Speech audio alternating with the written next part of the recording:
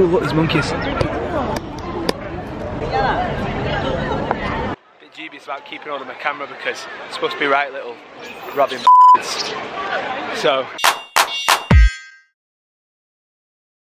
Good morning, today is our last day in Kuala Lumpur, our last full day at least, and we're going to the Batu Caves, which is uh, a Hindu shrine located just outside, I think it's about 8 kilometres outside of the city. Shiv, why is it called Batu Caves? I'm going to give you three choices. Is it one, it's named after the Batu River, which flows past. Two, it's got around 100,000 bats living deep within, and Batu is the Malaysian word for bat. Or is it three? Batu is the Malaysian word for stone or rock, and it derives its name from that.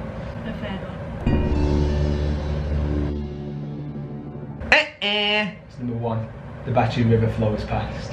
It's one of the main things to do in Kuala Lumpur, so we thought we can't leave without seeing it, so let's go.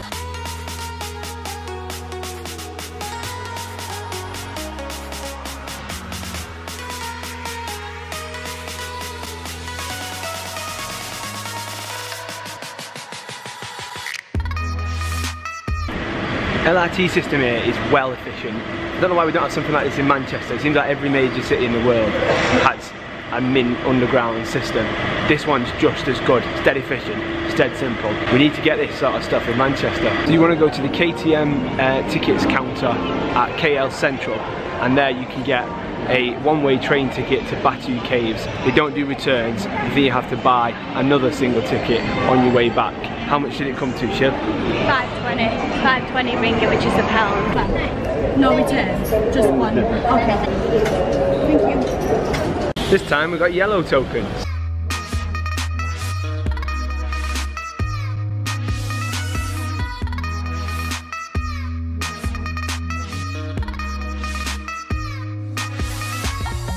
We're outside the Batu Caves. Behind me is a big statue that's dedicated to the Hindu god Lord Murugan. So, Shiv, next trivia. Okay. This god, is he A, the god of monkeys, who's also the god of animals but can transfigure himself into a monkey?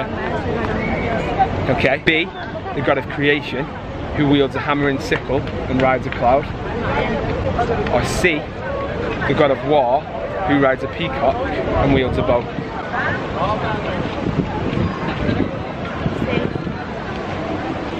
Correct.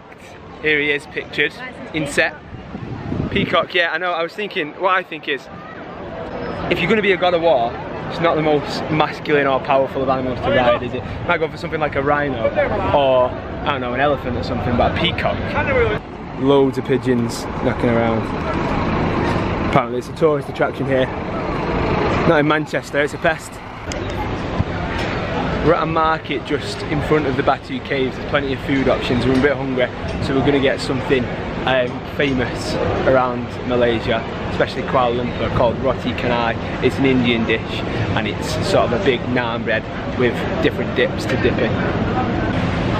So this is roti canai. It's thicker than the sort of naans we get in England. It's, it's more doughy. Really nice though. We've got three different sauces. One's like a yogurt sauce. It's like a yogurt sauce. This one's mild and this one's spicy. We've also ordered the banana leaf meal set which is basically rice, um, certain different like pickled vegetables and poppadoms uh, wrapped in a banana leaf. What do you think about the, the roti canai? Very nice. This is pretty good. What's it taste like? What does the veg taste like? Curry. Just like a nice normal curry. It's like a lentil curry. Green beans they are, think. Are they green beans? Curried green beans.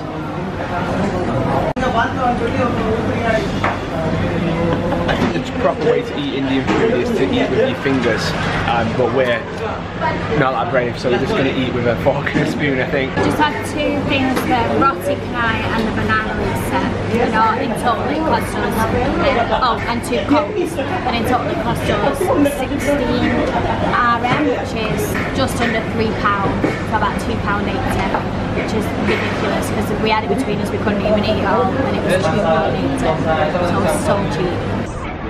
Some locals women, not even men, just randomly stop Shiv and ask for a picture. I don't know if it's because she had that thing on her head and she looks a bit daft. I do look daft, but you Or know, because, smiling up today. might have just been because she's white, I think. Oh, look, these monkeys. Bit dubious about keeping hold of my camera because it's supposed to be right little robbing So,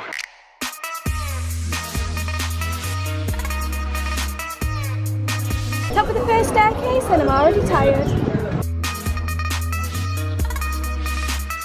this guy's got some energy.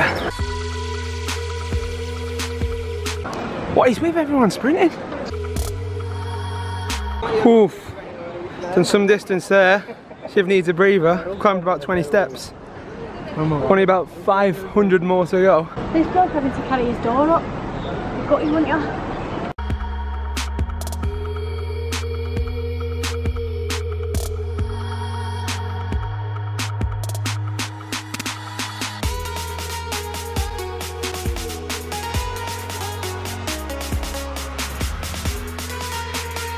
Couldn't afford a rabies vaccine, so we're being super extra careful with these monkeys. Apparently you're not supposed to stop and look at them because they will jump and rob some off you. So this little was standing so still on that podium, I thought he was the podium. So I'm reaching my hand out like this, about to grab it.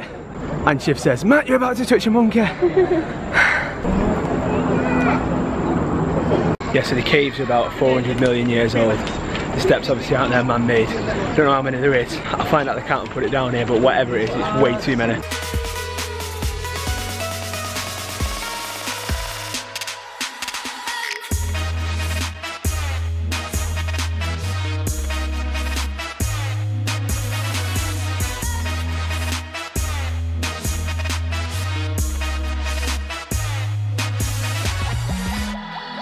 He made it with his door. Chicken knocking about in the cave.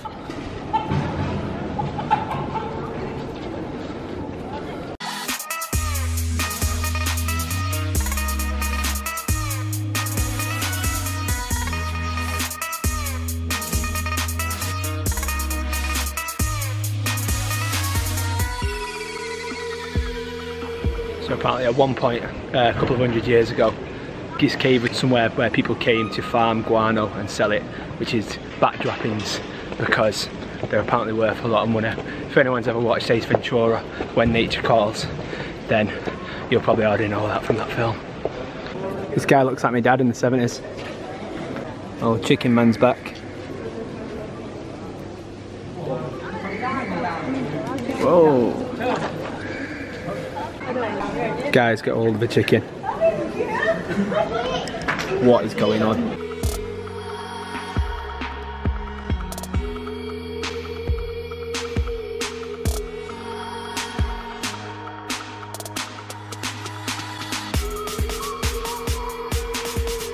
Back at the train station going towards KL Central. Uh, we've got to wait for a while now because the train's not going to be here for another half an hour or so. Little tip, trains don't come every 45 minutes so check the timetable before you get here because otherwise you don't want to be sat around at the train station waiting around for the train to arrive just spend a bit more time at the temple I'd say you can see the temple and everything around here in about an hour and a half so you don't need longer than that so what would you give it out of 10? Batu Caves? Six? I thought it was pretty good, I'd give it an 8 to you a bit harsh. Back on the train now, going back to our hostel. Tomorrow we leave for Cameron Highlands, so make sure you tune in and watch us as we travel through to there. Uh, also leave a like and a comment if you like the video. Please subscribe so you can join us on our journey. Shiv's feeling a bit tired I think. A lot of steps, very tiring day out. We should definitely try it. See you tomorrow.